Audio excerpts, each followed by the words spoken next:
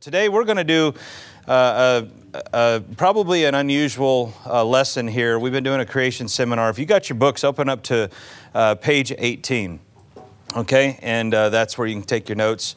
Um, I'm not going to have you stand and open the Bible here because I'm going to do a lot of stuff. But if you want to find your Bible, open to Genesis chapter 1, and we're going to look at verse 26 and 27.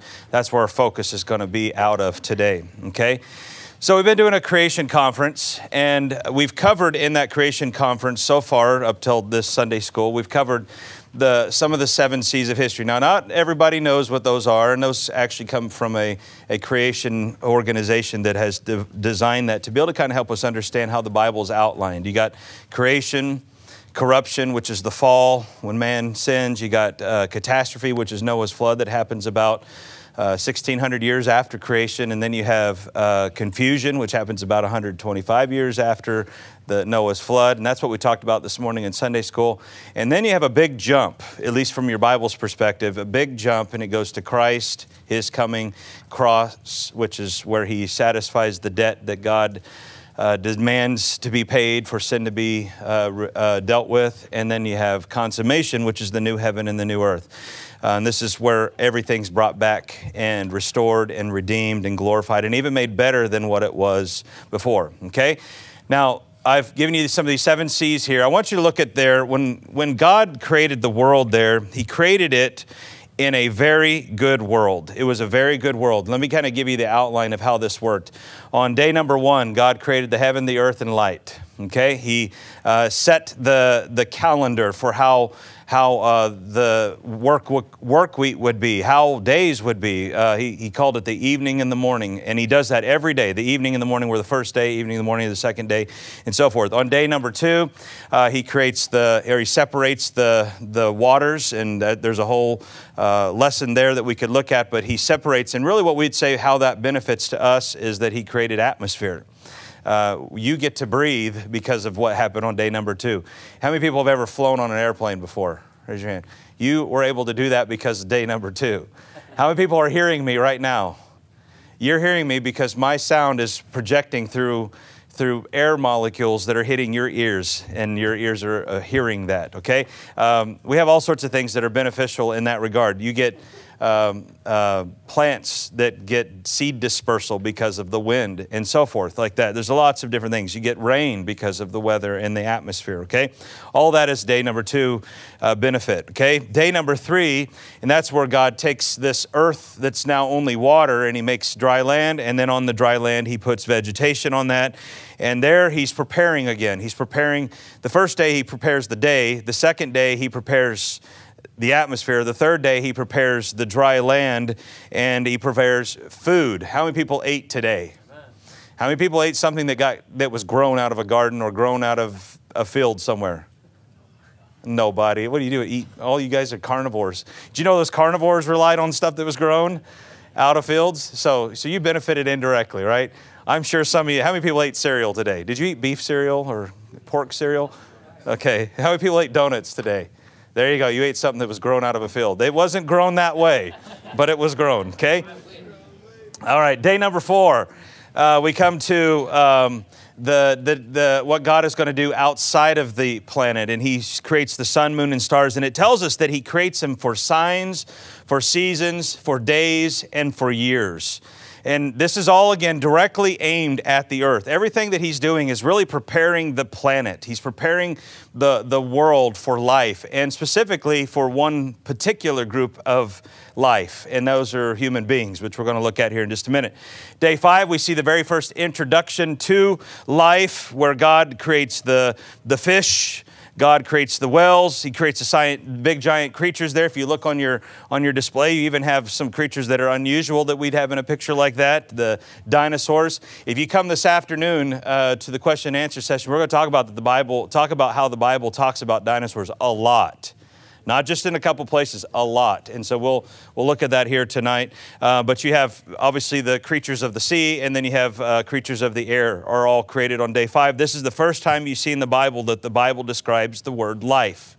That life is that which is able to reproduce and move and breathe. Okay, so those are things that we see that happens. And then on day number six, we see God creating the, uh, the land creatures. And uh, obviously, there you see some majorly different kinds of animals as well.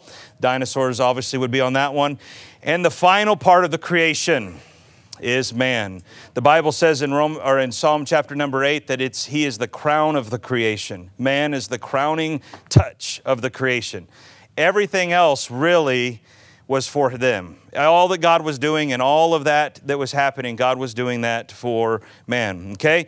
Now, as I pointed out in our creation series, if you've been with us and have come over any of the days that we've done this, we've been trying to show how that the world has a different viewpoint than, than God's word does. The world has been trying to convince people that um, we are really just a product of chance and long time that we are we are animals that are highly evolved in fact they really if you go back down to it they say that we are nothing more than just goo that has come and made you right Good to you uh, you are you are just just something that's a big cosmic accident. You were not ever intended to be. There was nobody intending anything. You're just an accident. Okay?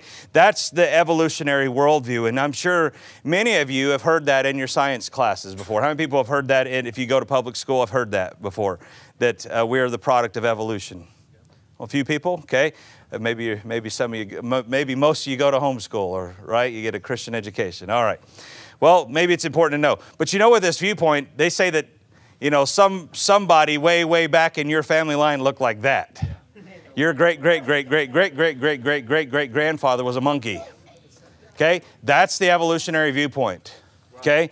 And that's, that is absolutely true. I'm not making something up. That's absolutely true. I was at the uh, Natural History Museum in Washington, D.C. this summer, and that's where that's what they were touting. That's what they were teaching, okay? They were pushing that, that that's where you came from. But the Bible has an entirely different viewpoint of what you are and what you were made. The Bible says that when God made man, he made him absolutely perfect. Um, he, is, he is absolutely complete in all that he is supposed to be. Now, the scripture tells us in Genesis chapter 2, verse number 7, that God formed the man of the dust of the ground uh, and he breathed into his nostrils the breath of life. And then it tells us here that it, God said when he did this, and go back to Genesis chapter number one, verse number 26, he said, Let us make man in our image after our likeness. And then if you look there where I highlighted it again, in his own image. And then down right after that, in the image of God. Four different times he says that we are made in the image of God. If you look in those two verses, made in the image of God or made in the likeness of God.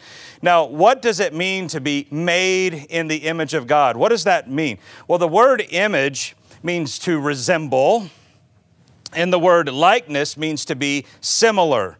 To be similar. So the, the idea here is that you are like God in the world. God sees you as one that is like him. You are you resemble him in the world and you are similar to him in the world. That's what you are supposed to be.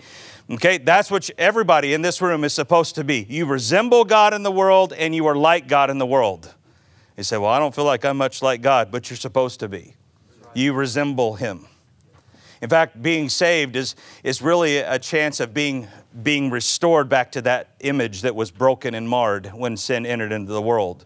That God is restoring us into the image of Jesus Christ, which is really the image of the invisible one. He's restoring us back to that. So we are to represent Him in the world. So let me give you some elements of what that looks like. What does it look like to be an image bearer? Well, one, uh, being a, an image bearer means that you are going to be creative like He is. If you're like Him, you will be like that, right? Human beings have the ability to be creative and have come up with designs. Let me give you some things that, let me show you some pictures of things that we are creative. Uh, there's a George W. Bush painting. Many people know who that guy is? Maybe he's too old for you. Okay. Uh, George W. Bush used to be a president, but he's painting. Uh, how many people like to paint or draw? Raise your hand in here. Okay, you know what you're doing? You're demonstrating that you're different than the animal world. Animals don't do that. They don't paint and draw, even crude drawings. they don't. Um, you know what else we do? We have the ability to write. How many people like to write? There's some people in here, I imagine, that like to write. That's not a talent that everybody loves, but you know that's, that's part of being made in the image of God. Um, how many people play music? How many people like to get involved in doing music? Okay, that's that's a characteristic of being made in the image of God. Uh, here's another one: people are able to make machinery and complex machinery. When is the last time you've seen a monkey doing that? Say, well, they can use tools. Yeah, I could use a stick and beat something. Boom, boom, boom, boom, boom. That's a tool. God didn't give that creativity to, hum- to animals, He gave that to man to be able to design that. Here's, here's something that's amazing. Look at this. This is a tower that uh, somebody built. Look at this. Isn't that an amazing tower? Beautiful structure. Somebody came up with that and built that.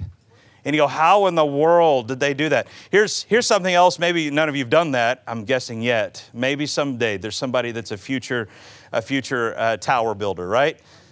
Future uh, what do they call those people? The architect, yeah, future architect. I should know all these things, shouldn't I?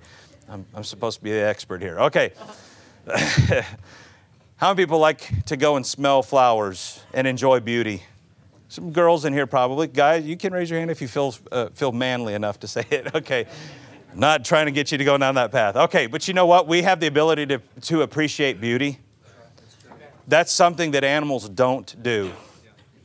It's part of the creative nature we have. It's part of the creative nature that God has made us. Second, we are moral. Let me give you this one moral like God is moral. We're moral like God is moral. The Bible says that God is holy, that He hates sin. Mankind understands what it means to have a moral nature and appreciates right things.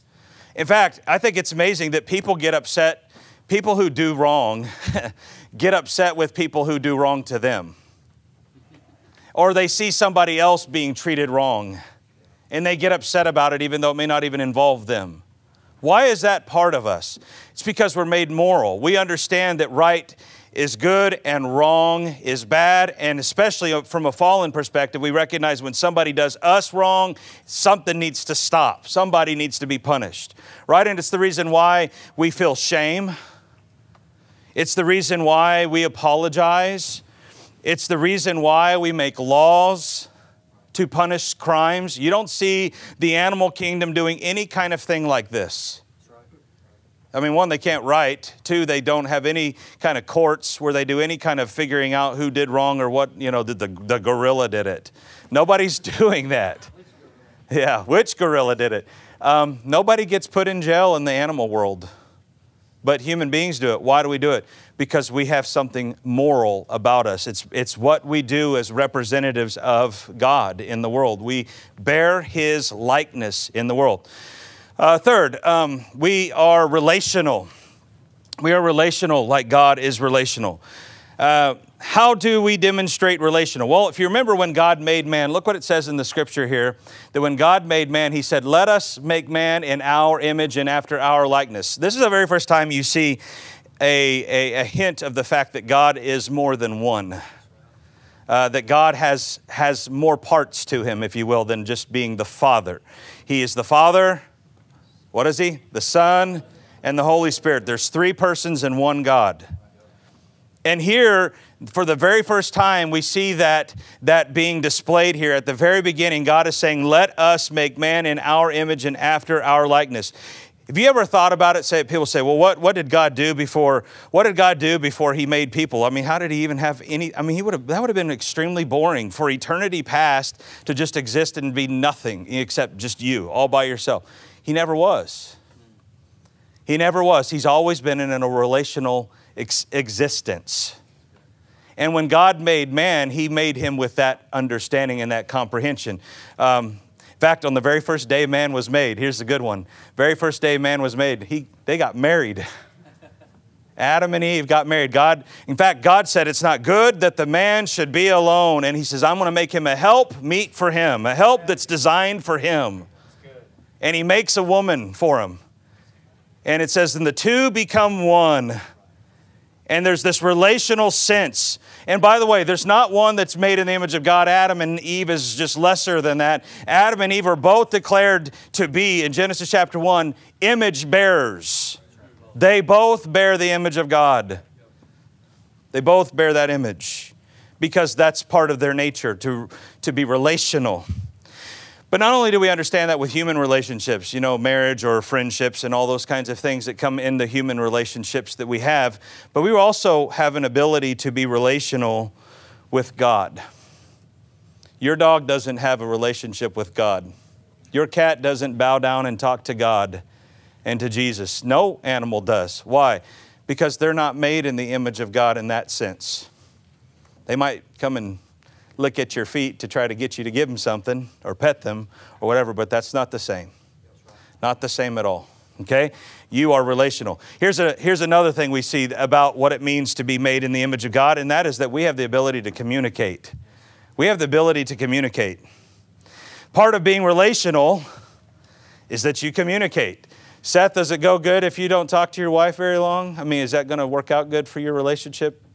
Probably not. It doesn't work out for any relationship if you don't have communication, does it?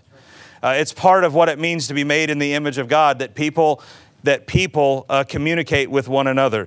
Um, here's something we talked about this morning in our uh, Sunday school class, and that we were talking about confusion at the Tower of Babel in the languages. Man doesn't do what animals do. They don't grunt, growl, hoot. I mean, they might if they're really, you know, acting foolish or act, getting waking up out of the bed and not really got everything working up there in the brain right. But that's not our normal type of communication, is it? It's not how we talk to people. God has given us the ability to have complex, complicated language, and we can communicate complex, uh, complicated ideas. We're able to do that. Now, some may be able to do it better than others, but we all have the ability to communicate abstract things things that you can't even physically hold or touch, but we can communicate. We, we can communicate feelings. Uh, and we can communicate all sorts of different things that, that no animal could ever do. We are not an animal. We are made in the image of God, okay? So we are able to communicate. Um, I remember watching a, or, or, reading something. I was reading an article about how they tried to get uh, uh, a chimpanzee they set him in front of a typewriter. Now that's not a typewriter, that's a, that's a computer, but they set him in front of a typewriter and they wanted to see, they were going to let him bang on the, the, the, the typewriter and see if he could actually uh, come up with one word.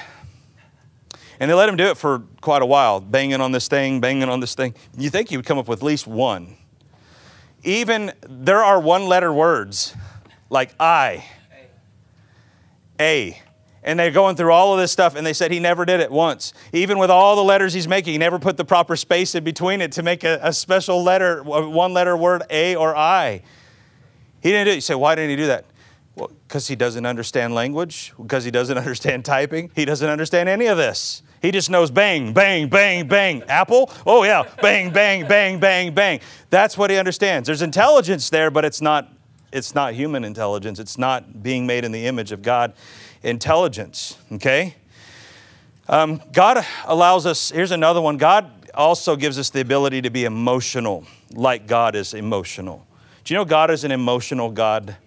You read your Bible, you're going to find out there's a lot of things that He's, the Bible says He's joyful.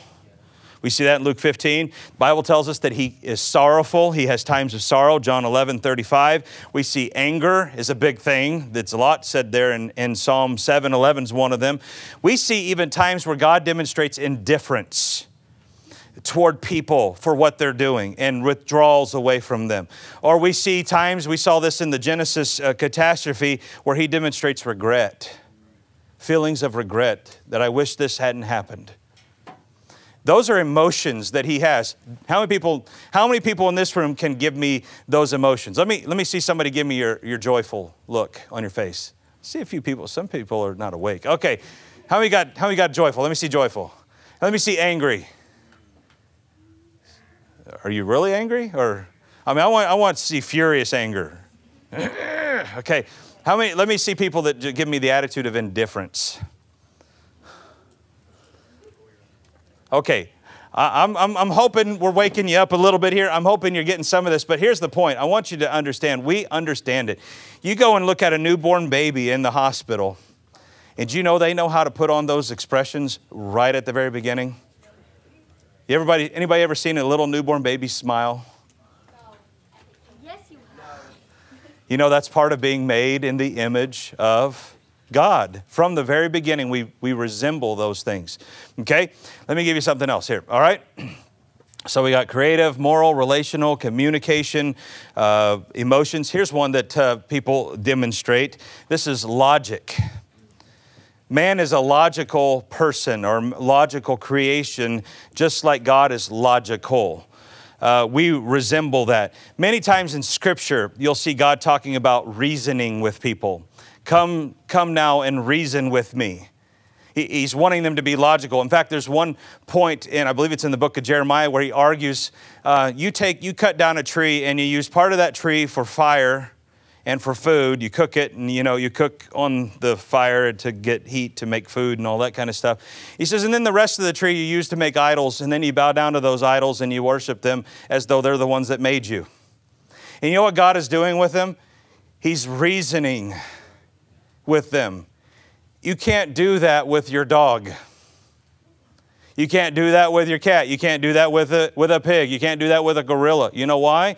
Because they're not made to reason. You are, though.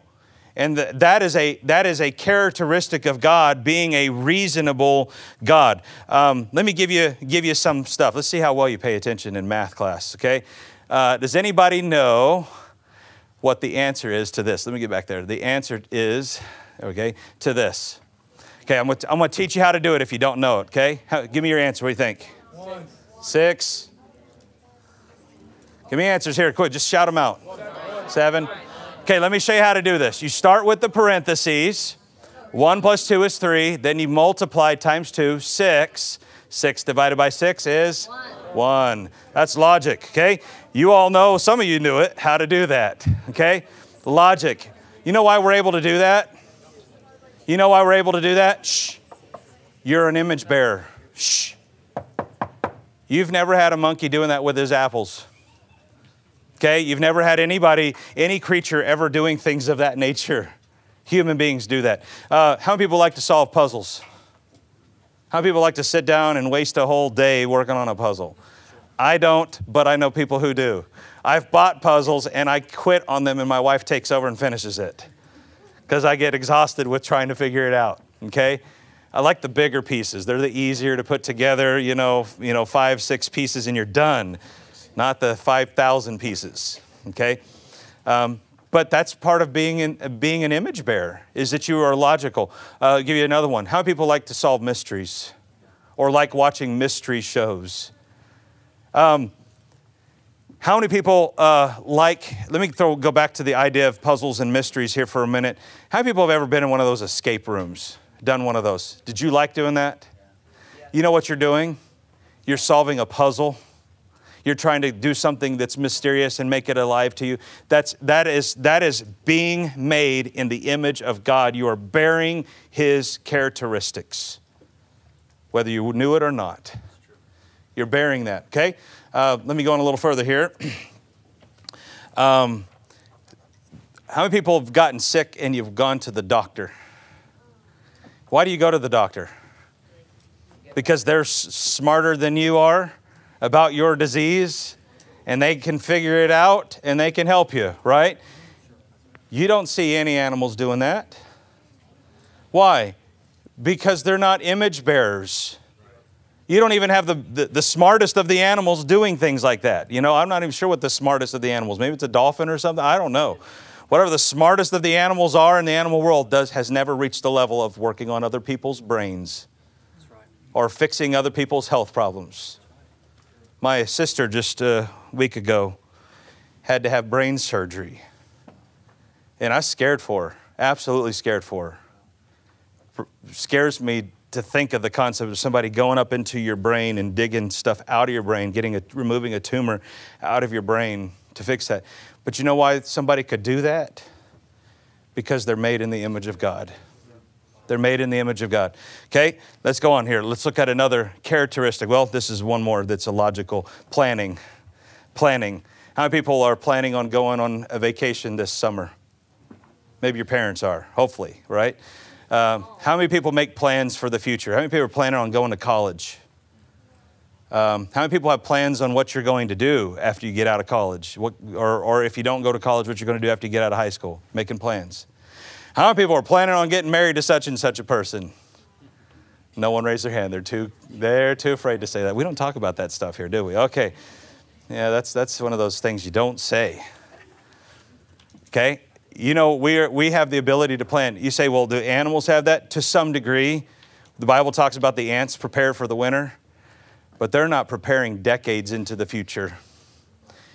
They're not setting aside money. Here's, I'll give it from an adult perspective. Adults that are trying to think about their future set aside money and continue to set aside money so that when they get to a point they can't work, they're, they, they are able to take care of themselves that way.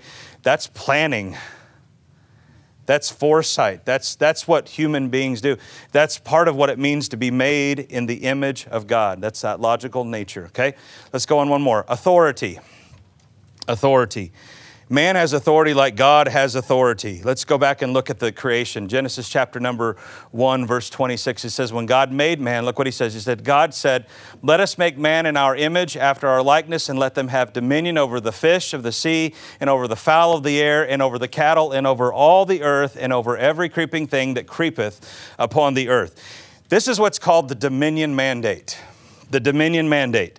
Uh, uh, in fact, if you were to go to Psalm chapter number eight, you see that dominion mandate once again talked about. Uh, here's David talking about what God did with man. He says, he goes on, he asks the question, What is man that you're mindful of him, that you visit him? And so forth. But then he says, Thou hast made him to have dominion over the works of thy hands. All that God created, man has the authority to have dominion over it. Uh, thou hast put all things under his feet, all sheep and oxen, yea, the beasts of the fields, the fowls of the air, the fish of the sea, and whatsoever passeth through the paths of the sea. God gave man the authority. Dominion, in fact, the word dominion means to have rule over or to dominate. Do you know it's an unbiblical concept to say the dinosaurs ruled the earth? There was never a time when the dinosaurs ruled the earth from a biblical vantage point. You know why? Because they never got that dominion mandate. There's only one part of the creation that was given that dominion mandate. It was us, mankind. It was our responsibility. From the very beginning, God gave that. And in a sense, you could say that Adam and Eve were the very first king and queen of the world. Who were they ruling over? Well, they weren't ruling over their children because they didn't have any at that time. So they were ruling over the creation. They ruled the animal world. And just like, uh, uh, in fact, they were even given the garden. We were told that Adam was given the garden, and, and, the, and the scripture tells us he was responsible for dressing and keeping the garden. He had a responsibility to work that garden, to protect that garden, and he doesn't have a right to abuse or hurt the animals. That's, that's what dominion does, looks like. It's not abusive. It's not supposed to be, at least. Now, that also would have meant that they had the responsibility of caring for the environment because the scripture says they were given dominion over all the earth, not just the animals, all things. They had that responsibility. Did you know today you have that responsibility? Your little part of the world that God has given you, whatever it is, your little corner of the world, you have a responsibility to do what you're supposed to do over that and take care of that and be responsible for it and leave it better than what it was when you found it. That's part of your dominion mandate being carried. And when you get older and you get out of, out of, out of high school and get out of college, some things are going to change in your life and you're going to have broader uh, things that you're supposed to be involved in. Your responsibility is to care that way for the things that God has given you. You have a responsibility, a dominion mandate. The animals don't do that. You do, though. In fact, just give you an example. The very first day that God made Adam, you know what Adam was supposed to do? To show his, to show his dominion authority. Name, would you say? Give, yeah, give them names. He had the responsibility of naming the animals. People name animals. Animals don't name animals. In fact, we all understand this concept. How many people have pets at home? How many people have a dog? More than one dog. You're good. How many people have cats? Oh, man nasty creatures. How many people have birds? How many people have lizards? Some kind of lizard reptile thing? Some of you, okay. How many people uh, have named their animal had the privilege to name the animal you have in your home? You know why you named that animal? You're, you're recognizing, first off, ownership over it. authority over it. You may not have realized that, but you're demonstrating it. Uh, also, you're demonstrating that you love that creature, that you're going to care for that creature. In a sense, that's what's happening when we talk about the dominion mandate that God gave man. Okay? You go on a little bit further. After, the, after Noah's flood, when Noah gets off the ark, he's worshiping the Lord. And the scripture says, once again, God does this again. Look at this. This is Genesis chapter 9. He tells the new set of humanity because the first set of humanity has been destroyed in the flood. Now all you have are eight people, and God once again reestablishes that dominion mandate with now the new set of humanity, Noah and his family. And listen what he says. He says, The fear of you and the dread of you shall be upon every beast of the earth, and upon every fowl of the air, and upon all that moveth upon the earth, and upon all the fishes of the sea. Into your hand they are delivered. In other words, you have the responsibility of being over them. And he mentions the fact that they have a fear of you and a dread of you, which speaks of the fact that things have changed because of what they were when God originally made them. They weren't so scary and they weren't so terrible to be around, and they didn't fear man because man wasn't fallen. But now we have this broken part of the world, and yet, even though it's broken and humanity's broken and the animal world is cursed and all of this is happening, still the dominion mandate plays out at this point. Still, it plays out. Okay? So here's my conclusion you're not an animal. You're not an animal. You are very much different. You are not some creature that evolved. You are not the product of millions of years of time and chance where things moved and moved and moved and moved and moved along until you got to you. Your great, great, great, great, great, great, great, great, great, a hundred times back, great grandparents weren't monkeys. you weren't swinging from a tree. Well, maybe not with your tail, at least, right? All right. So let me give you a few applications. Give you a few applications. First off, when it talks about being made in the image of God, one of the things I brought up is authority, being, a, being in the dominion mandate. From a biblical perspective, there's a responsibility that every person has when it comes to obeying their authorities obeying their authorities. In fact, listen to what Scripture says here. This is Romans chapter 13. It says, Let every soul be subject unto the higher powers or authorities. For there is no power but of God. The powers that be are ordained of God. Whosoever therefore resisteth the power resisteth the ordinance of God. Here's what he's saying all authority comes from God.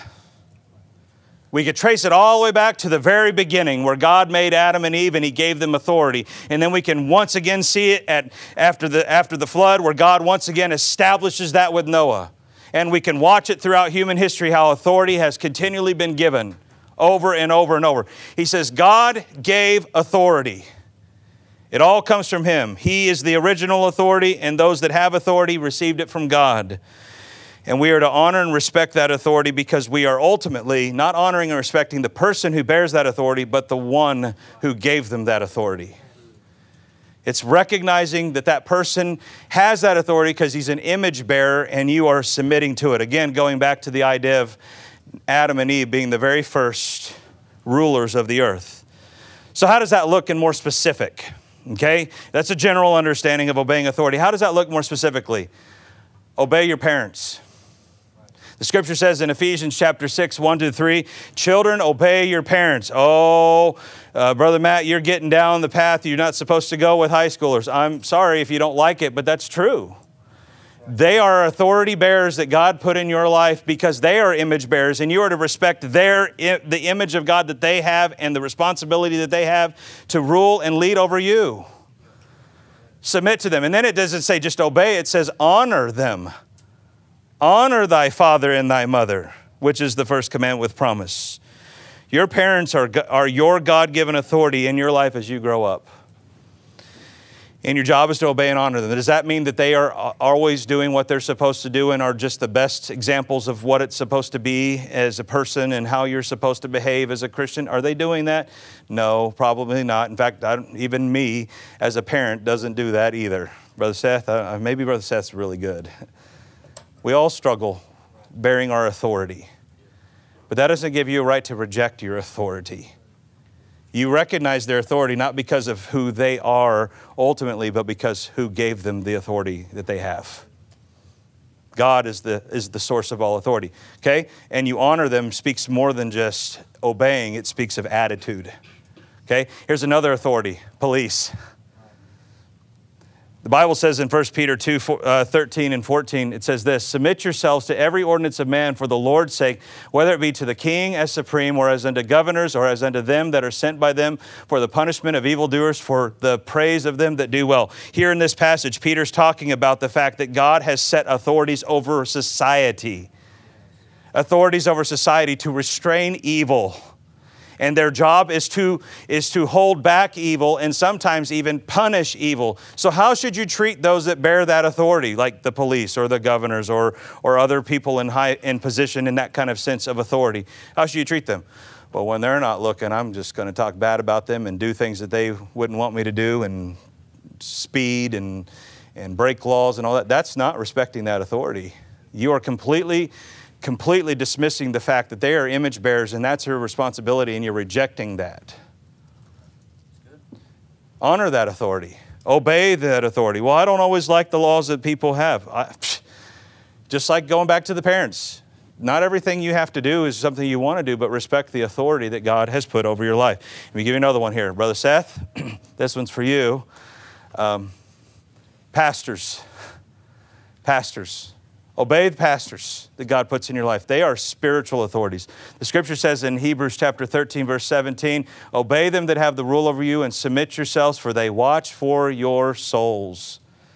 You know, your pastor and your Sunday school teachers, and Brother Gaddis here as your pastor, and all the people that have positions of authority over your life in the, in the spiritual realm, you know what your responsibility is to do? To listen to them as they lead you, submit to what they tell you out of the Word of God don't cause them grief. In fact, it goes on to say that that you do what they do so because they will have to give an account to God for their leadership. And he says, and they want to lead you with joy rather than with grief. I tell you, the most miserable thing to go through, I think, as a pastor, is people that you work with, you pour your life into, and they just they don't care. And they give no honor and respect to who you are and what you're doing and all the things you've invested in their life, and it grieves your soul as a pastor. Don't do that to your pastor, Brother Seth here. Don't do that to your Sunday school teachers that are sitting back here or to Brother Gaddis. Respect the authority. Well, why do they have the authority? I don't understand why they get to have that authority. God gave it to them because they're image bearers. And part of recognizing, part of being an image bearer is recognizing they have that right to have that authority, and I want to submit to it. Let me, I'm coming through. Here we go. Um, when we sinned, back there. When we sinned in the world, it was really an attack against human authority. I mentioned that yesterday, that authority uh, was, a, was completely reversed. If you remember how it happened, the serpent went to the woman, the woman went to the man. The serpent was to be under the authority of the man and the woman. From a biblical perspective, even Adam was to be the ultimate authority. Adam, then Eve, then the animal world. It got completely turned on its head when, this, when the temptation happened. Now you have the beast leading the woman and the woman leading the man. The authority, the very first attack of sin was an attack against authority. Okay? It was an attack against authority. Okay? Um, let's go on. In fact, even God, whenever he confronts Adam, he says, Because you have hearkened unto the voice of your wife, this is why I'm doing what I'm doing. Now, that doesn't mean don't listen to your wife. That doesn't mean don't have any respect for your wife. It means that my, I'm the ultimate authority. You should have gone that way rather than go the way you did. Okay? Let's go on a little bit further here. Okay, so there's your serpent and, and so forth. So we got to the authority, all right? Let's go on to the next one. This one is going to be a little more tender here if, if you can handle it, okay? Respect life. What it means to be an image bearer is to respect life. Murder is always wrong. Murder is always wrong. The scripture says here, Genesis chapter 9, verse 5 and 6, after Noah gets off the ark, God reminds him of what you now need to do. He said, Surely the blood of your lives will I require at the hand of every beast, will I require it at the hand of man, at the hand of every man's brother will I require it, the life of man. Whoso sheddeth man's blood, by man shall his blood be shed. And here's the reason why For in the image of God made he man. Why are you never to allow, why are you to be against murder? Because those people that get murdered are being attacked. They are image bearers of God, and God requires judgment, punishment if somebody takes the life of another. And it's not just a slap on the wrist, they forfeit their own life. This is different than hunting and hunting animals. You know why? It's different. I, I, whether you think it's okay to do that or not, the Bible gives absolute allowance. In fact, in the very passage that that was quoted, he's giving that allowance. That you can do that with animals. You can eat their flesh, just don't drink their blood, right? Um, you can hunt them. Why? They're not image bearers. But you can't treat human beings that way. You can't put them in that, that category of just they're just like animals. No, they're not. They're, they're image bearers, okay? Let's go on a little bit further here. Um, what about abortion? I'm to get a little, I told you, I'm to get a little more tender here. You hear about it, it's pushed in our, in our society everywhere. What about abortion? You know, the Bible, Bible implies abortion's murder. It's murder. Politicians in our country for the last 50 plus years or so have tried to argue that abortion isn't murder and that it's the woman's reproductive right. But according to Genesis chapter 9, verse 6, it's murder. You're shedding innocent blood. You're shedding innocent blood. Um, somebody says, you know, well, you're just a clump of cells. That, that little baby in there is just a clump of cells. That's all it is. Did you know that everybody in this room is a clump of cells? Brother Seth, you're a clump of cells. Every person sitting in this room is a clump of cells. Some of you are just much more clumps of cells than in the womb. Does that give you the right because one smaller clump of cells than what you are to take the life of that thing? that's in the womb, the life of that child that's in that womb? Is it right for us to use that as an argument? Absolutely not. They're image bearers. They're image bearers right there in the womb. Well, someone says, well, maybe here's the argument that they use it's my body, my choice. Oh, really? Is it your body? Is it your body? Did you know that that creature that's in your womb, if you are pregnant with that, a child, has an entirely different DNA than you do? Did you know if they happen to be a boy and you're a, you have a child in your womb, they have an entirely different sex than you? Did you know they have entirely different fingerprints than you? It's not your body. It's your body that God is choosing to use to house that child in a place to be protected until we born you take the life of that child, you are violating Genesis 9 6, and you are choosing not to recognize that child is an image bearer. An image bearer, made in the image of God. Now, let me take you to the opposite spectrum, the opposite spectrum here. Since 1997, several uh, states in our country have voted to allow what they call medically assisted suicide. Let me give you some states that have allowed that for a minute Oregon, Washington, Montana, Vermont, California, Colorado, not a state, but Washington, D.C., Hawaii, New Jersey, Maine, New Mexico. Over the, the 2020 time, during the COVID time, some news came out from Canada where they were talking about this thing called MAID. MAID is this it stands for Medical Assistance in Dying and they were pushing that basically anybody who wants to, that qualifies, can be medically assisted in dying. Let me give you a little, maybe two minute clip if you can handle this. This will break your heart, but I, I edited it down quite a bit because I know for time's sake we can't do it, but other than that, it's also just break your heart. This is actually a real thing happening here. Listen to this. Ooh, it's so shimmery. What color do you want? Do you need that kind of pen? Which kind of pen do you need? It's the night before Jeanette Loden's medically assisted death. She asked her family to decorate the lid of her coffin. Okay, once you do your hands. The 87 year old Saskatoon artist has allowed CBC News nearly unrestricted access to the final moments of her life and her death. The day has finally come. Okay, so this is what's going to happen. The doctor's going to come in about half an hour. He's going to talk to Grandma alone for a little while, just to, she's, he's got to get final consent, and by law, he has to make sure that nobody is making her do this. Um, so he's going to come in, he's going to talk to her, and then he's going to put an IV in, and then uh, then it'll be time for us to all say goodbye to her. You're the only one who can tell me if today is the day. Yeah, yeah, today is the day. Today is the day for sure. Yeah, for positive. The first step Dr. Weiler inserts the empty IV line. Put this down. As he prepares the fatal medication in the kitchen, it's time for Jeanette to say her final goodbyes.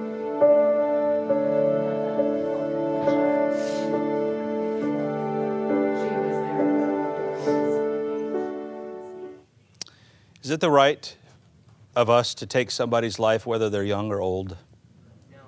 No. You, you say, well, but they might be sick and all that. Let me just give you an example in the Bible where that shows that responsibility. Who has that responsibility? This is, this is talking about Job. Job chapter 1. Job had his entire life wrecked that God Himself allowed to happen. And here's Job's response He said, The Lord gave, and the Lord hath taken away. Blessed be the name of the Lord. You know what he was saying? He recognized there's only one who has the right to take life. It's not me. It's not me, no matter how bad my life is and how much I don't want it to go on anymore from all the things that have happened. It's not me who has that right. God alone has that right. He's the one that made us. He has the right to take us when He decides. Suicide is always wrong, it's murder. Taking a baby out of the womb and murdering it is, is wrong, and so is the other side. Let me finish it off with a couple more things. I'm, I'm trying to finish up here for you. The book of James also gives some more practical understanding. I've given kind of a deep one here, but this is a practical one. How do you, how do you talk about people? Do you know that God doesn't just care about whether you put a knife in somebody's back in, in, in murder, but He also cares what you use your tongue to do? In the book of James, listen to this. He says, Therewith bless we God, even the Father, speaking of the tongue, and therewith curse we men, which are made after the similitude of God. So, what you do in your speech, God cares about. The things you talk about, the people you talk about, you better make sure you're not using your tongue like a knife to stab other people and destroy other people's reputation because you're violating what it means to be made in the image of God. In a, in a sense, you're a murderer with your tongue. Jesus, in fact, in the, in the Sermon on the Mount, argued the fact that if a person was to say, call somebody a fool, he's guilty of hellfire. Why? Because he's a murderer in God's sight by the way he uses his tongue. Let me give it this. 1 John 3:15 says, "He that hates his brother is a murderer." Murderer. All right, lastly, you're not a mistake. Every person in here, as Brother Seth said earlier, is here because God wants you here. And you are not a mistake, no matter what people have said about you or done to you or, or treated how they've treated you. You're not a mistake. Every single person in here is an image bearer. Every person has a right and a responsibility to act out that image in this world the way God would have them do it. Let me just throw one little thought into this. How you were born is what you are. God gets the choice. Did you know your parents didn't get to choose whether you'd be a boy or a girl? Your parents didn't get that choice, neither do you. God alone gets that choice. You're not a mistake. And you know, God has instructions for what boys and men are to look like, and He has instructions for what girls and young ladies are to look like. And equally, both sides are image bearers that have a responsibility to represent God in that role. That's your job. Now, ultimately, let's finish it with this Jesus came to redeem image bearers. When you when you sin, you've broken that image. In fact, it was already broken before you even took your first breath. We're all condemned in the person of Adam. God looks at us as condemned. When you're born, you're already condemned. It wasn't, didn't wait till you got to, to junior high and finally figure out that you're not supposed to do this or do that, that, that you suddenly entered into condemnation. You already are condemned. The Bible says that. But Jesus came and took upon himself the curse for us and died in our place. And one of the last things he said is, It is finished. Debt has been paid. Let me just show you how corrupt we are. How many people have lied in this room before? Raise your hand. How many people have stolen the eighth commandment, violated the eighth commandment? Raise your hand. Come on, all of you should be raising your hand. You liars, you just told me it. Seventh command says you're not to commit adultery. Jesus said if you look with lust, you commit adultery of the heart. How many people have done that? Come on, you want to be honest? Let's be honest here. How many people have used the third commandment, take God's name in vain? How many people have done that? Use God's name in vain. How people have done that? You're violators of the law. You're guilty. The image is marred, but Jesus came to restore the image. He came to restore you back to God. And ultimately, tonight, if you'll come back tonight, I'm asking, I know that this isn't maybe all the case for everybody, but if you can come back tonight, we're going to watch how that plays out. How what the Bible says that the Lord intends to redeem us and restore us and make a new heaven and a new earth where we will sit in glory with Him and rule and reign with Him. The image being restored. All right, well, started off bad. We'll start off good, went bad, but one day it'll become good again. Amen. All right, well, let's go ahead and pray. Thank you, Heavenly Father, for your word and how it teaches us these things. Help us, Lord, to apply them to our hearts and to our lives. In Jesus' name, amen.